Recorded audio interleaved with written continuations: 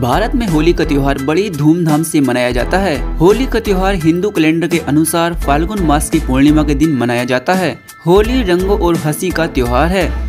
यह भारत का एक प्रमुख और प्रसिद्ध त्योहार है, जो आज पूरी दुनिया में मनाया जा रहा है। रंगों का यह त्योहार पारंपरिक रूप से दो दिनों तक मनाया जाता है। होली का त्योहार कई अन्य देशों में भी बड़ी धूमधाम से मनाया जाता है, जहाँ अल्पसंख्यक हिंदू लोग रहते हैं। तो आज के इस वीडियो में हम आपको होली से जुड़े कुछ रोचक तथ्य बताने जा रहे हैं। लेकिन वीडियो शुरू करने से पहले मेरी एक छोटी सी रिक्वेस्ट है की अगर आपको हमारा ये वीडियो अच्छा लगे तो वीडियो को लाइक और चैनल को सब्सक्राइब ज़रूर करें। तो चलिए वीडियो को शुरू करते हैं।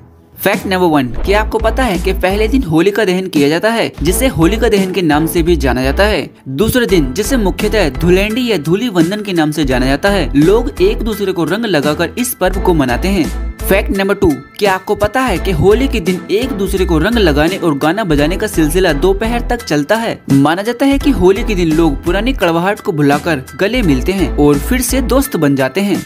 फैक्ट नंबर थ्री, क्या आपको पता है कि भारतीय पंचांग के अनुसार फाल्गुन मास की पूर्णिमा को, यानी होली के अगले दिन से चैत्र शुक्ल प्रतिपदा का आरंभ होता है, और इसी दिन से नव वर्ष का प्रारंभ भी माना जाता है। इसीलिए होली का पर्व नव वर्ष के प्रारंभ और नव वर्ष के आगमन का प्रतीक है। फैक्ट नंबर फोर, क्या आपको पता है कि मथुरा में करीब 45 दिनों तक चलने वाले होली के त्योहार की शुरुआत बसंत पंचमी से ही हो जाती है? यहाँ लठमार होली खेली जाती है, जिसे देखने के लिए देश विदेश से लोग यहाँ आते हैं। फैक्ट नंबर फाइव क्या आपको पता है कि होली के त्योहार के साथ रंग कब से जुड़ा? इस बात पर मतभेद है, लेकिन इसी दिन श्री कृष्ण ने पूतना का वध किया था, जिसकी खुशी में गाँव वालों ने रंगोत्सव मनाया था। यह भी कहा जाता है कि श्री कृष्ण ने गोपियों के साथ रासलीला की थी और दूसरे दिन रंग खेलने का उत्सव मनाया था। फैक्ट नंबर सिक्स क्या आपको पता है कि होली के त्योहार में रंग डालने से पहले लोग एक दूसरे पर धूल और मिट्टी मलते थे? इसीलिए इसे धूलेंडी कहा जाता था। कहा जाता है कि त्रेता युग के प्रारंभ में भगवान विष्णु ने धूली बंधन किया था। इसकी याद में धूलेंडी मनाई जाती है।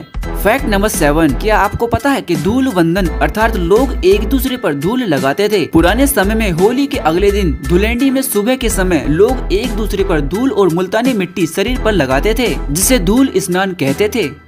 फैक्ट नंबर एट क्या आपको पता है कि आजकल होली के अगले दिन पानी में रंग मिलाकर होली खेली जाती है? तो रंग पंचमी पर सूखा रंग लगाने की परंपरा रही है। कई जगह इसका उल्टा भी होता है। हालाँकि होलिका दहन से लेकर रंग पंचमी तक भाँग, ठंडाई आदि पीने की भी प्रथा है। फैक्ट नंबर नाइन क्या आपको पता है कि रंगों का यह त्योहार मुख्य रूप से तीन दिनों तक मनाया जाता है? पहले दिन होली का दहन किया जाता है, जिसे होली का दहन कहा जाता है। दूसरे दिन लोग एक दूसरे को रंग और गुलाल लगाते हैं, जिसे धुलेंडी या धूली वंदन कहा जाता है। होली के पाँचवें दिन रंग पंचमी को रंगों के त्योहार के रूप में भी मनाया जाता है। भारत के कई हिस्सों में होली पाँच दिनों तक खेली जाती है। फैक्ट नंबर टेन क्या आपको पता है कि होली के त्योहार के दिन लोग अपनी दुश्मनी भुलाकर एक दूसरे को गले लगाते हैं और फिर से दोस्त बन जाते हैं? फैक्ट नंबर अलेवन क्या आपको पता है कि गोविंदा होली यानी मटकी फोड़ होली महाराष्ट्र में खेली जाती है? इस दौरान रंगोत्सव भी चलता रहता है। फैक्ट नंबर ट्वेल्व क्या आपको पता है कि तमिलनाडु में लोग होली को कामदेव के बलिदान के रूप में याद करते हैं? इसलिए यहाँ होली को कामन पंडिगई काम बिलास और काम दहनम कहा जाता है। कर्नाटक में होली का त्योहार कामना हब्बा के नाम से मनाया जाता है। इसी तरह की होली आंध्र प्रदेश, तेलंगाना में भी मनाई जाती है। फैक्ट नंबर थर्टीन क्या आपको पता है कि होली के दिन भाँग पीने का चलन भी सैकड़ों सालों से चला आ रहा है। कई लोगों का मानना है कि भाँग और ठंडाई के बिना होली अधूरी है। फैक्ट नंबर 14 क्या आपको पता है कि भारत में होली का त्योहार बहुत ही धूमधाम से मनाया जाता है। होली भारत का सबसे प्राचीन पर्व है, जो उत्साह के साथ मनाया जाता है। फैक्ट नंबर 15 क्या आपको पता है कि पहले होली का नाम होलिका या होला का था। साथ ही होली को आज फगुआ धुलेंडी ढोल के नाम से जाना जाता है। इस त्योहार की एक प्रसिद्ध कहावत है, बुरा न मानो होली है। एक दूसरे पर रंग डालने के समय लोग इस कहावत का अक्सर प्रयोग करते हैं।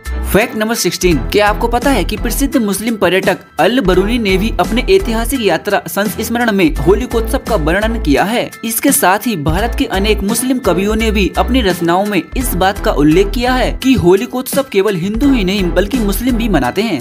फैक्ट नंबर 17 क्या आपको पता है कि अकबर का जोधाबाई के साथ तथा जहांगीर का नूरजहां के साथ होली खेलने का वर्णन इतिहास में है? अलवर संग्रहालय के एक चित्र में जहांगीर को होली खेलते हुए दिखाया गया है। फैक्ट नंबर 18 क्या आपको पता है कि शाहजहां के समय तक होली खेलने का मुगलिया अंदाज ही बदल गया था? शाहजहां के जमाने में होली को ईद ए गुलाबी या आव ए पासी, जिसे हिंदी में रंगों की बौछार कहा जाता था। फैक्ट नंबर 19 क्या आपको पता है कि मुगल बादशाह बहादुर शाह ज़फ़र के बारे में प्रसिद्ध है कि होली पर उनके मंत्री उन्हें रंग लगाने जाया करते थे? वहीं हिंदी साहित्य में कृष्ण की लीलाओं में भी होली का विस्तार रूप से वर्णन किया गया है।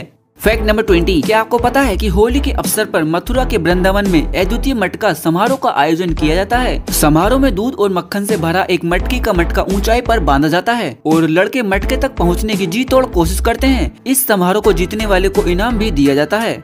फैक्ट नंबर ट्वेंटी वन क्या आपको पता है कि एक दूसरे को रंगने और गाना बजाने का सिलसिला दोपहर तक चलता है? इसके बाद स्नान करके, विश्राम करने के बाद नए कपड़े पहनकर शाम को लोग एक दूसरे के घर मिलने जाते हैं, गले मिलते हैं और गुंजिया एवं मिठाइयाँ खाते हैं। तो दोस्तों, मेरी तरफ़ से होली की हार्दिक शुभकामनाएँ आपकी होली मंगलमय हो। ऐसी मैं कामना करता हूँ। होली से जुड़े ये रोचक तथ्य आपको कैसे लगे, नीचे कमेंट करके हमें ज़रूर बताना। और ऐसे इंटरेस्टिंग वीडियो के लिए हमारे चैनल को सब्सक्राइब ज़रूर करें। तो मिलते हैं नेक्स्ट वीडियो में, तब तक के लिए अपना ख्याल रखें। जय हिंद, जय भारत।